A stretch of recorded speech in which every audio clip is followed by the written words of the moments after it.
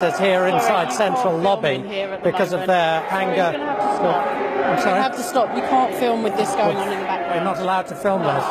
Why not? Because it's part of the rules and conditions of you using this pro, pro area that you're not allowed to film. As you can see, we're not allowed to film here, so unfortunately.